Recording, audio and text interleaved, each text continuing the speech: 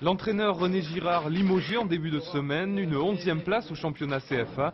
On comprend la tension qui règne actuellement au sein du Pau FC. Dans ces conditions, recevoir l'anciennement prestigieux Saint-Etienne, c'est une chance de rachat, une occasion de montrer un meilleur visage. J'estime que les chances sont, aussi valables pour Pau que pour Saint-Etienne. je crois que Saint-Etienne ne sont pas au mieux non plus. Euh, nous sommes chez nous, devant notre public, donc euh, on se doit de réagir par rapport aux événements passés. Donc j'espère que ce soir on va assister à une bonne partie de football. Et c'est Pau en bleu qui, dès l'entame, fait le match, se crée le plus d'occasions, à la 11e avec un tir de l'excellent attaquant Denis Bailac, très présent hier soir. Il est de tous les mouvements avec son partenaire Jacques Rémy. À la 28e, Pau passe encore près du but sur un corner rentrant de Normand que personne ne reprend.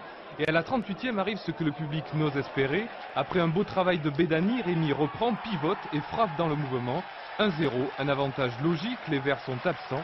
Leur entraîneur le dira clairement en fin de match. Je crois qu'ils n'ont pas fait honneur non seulement à leur métier, ce ne sont pas des pros, deuxièmement euh, au maillot vert, et troisièmement au respect des gens qui viennent et qui les soutiennent depuis quelque temps. En deuxième période, le match est haché par de nombreuses fautes. Rémi manque d'aggraver le score à la 52e sur corner. Et les Stéphanois réagissent parfois. Charrieras tape le poteau. Et ensuite, les Palois peuvent remercier leur gardien Christophe Bayoko.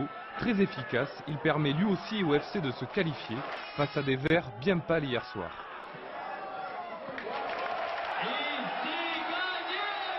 La récompense est là et on a montré qu'il y avait quand même de, bons joueurs à Pau et qu'il ne fallait pas l'oublier. C'est beau pour tout le monde, pour le club, pour, pour, pour les, spectateurs et, surtout pour, j'ai quand même une petite pensée pour, pour René Girard, mon, ancien coach.